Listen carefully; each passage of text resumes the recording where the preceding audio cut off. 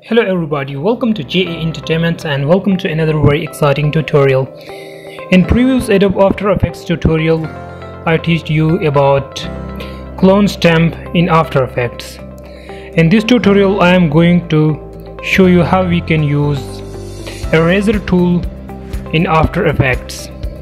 With eraser tool, we can remove any text, any objects from scene just like we are doing it in other Adobe After Effects softwares like Photoshop and Illustrator. So here is a scene, a footage, stock footage of New York Street. So here we can apply. So click eraser tool here now it will not work here. So for that you need to double click your layer to open it in layer mode. Now it's in layer mode. Now here you can see eraser is selected here and here is eraser tool with mouse pointer. To increase or decrease its size just hold control and drag your mouse wheel or if you have laptop and want this then you can drag finger on it. So you can decrease and increase by holding control and left mouse. And move back forward and so you will do this. Okay. Now the size is good like this. So to remove these I, I'm going to remove these text. So you can simply click on and drag on like a razor. Now you can see text are removing and some black colors are applying on the text. So what is this? The black color is not a color. This is just a empty background of Adobe After Effects. By default background have black color. To show just click here. Now you can see the point we are dragging or or eraser tool or doing eraser. It's looks transparent.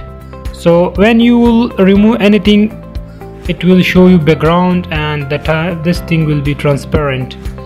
So just uh, like I removed these I'm removing it is okay? So for after that you can create any new solid. And like I'm taking color of the nearby color by this color picker. So the solid color will be like uh, dark cyan solid okay? So if I will drop it below my video layer it will show through in composition. You can see. The color is showing through. If you will shut down and turn off. If you will shut down the color that will show us like let me check see you. Here background if you will turn on it here will show you. So the eraser tool just removes any object like any masking.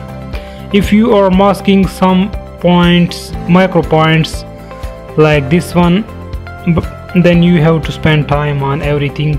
But if you will take a eraser tool and open your layer and new layer in layer mode then you can remove that easily.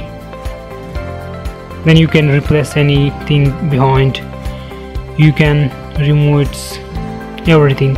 So this is just a technique how to use eraser sometime we need in animations and visual effects eraser to save time. Uh, all after effects tutorials are available on our channel. You can watch that. This one is just a simple tutorial. We are providing uh, movies after effects created and uh, we have our film supervised so you can watch that. Available on our channel. And we are also providing visual effects tutorial. So keep watching thank you for watching this video. Like it share with your friends and we'll see you next time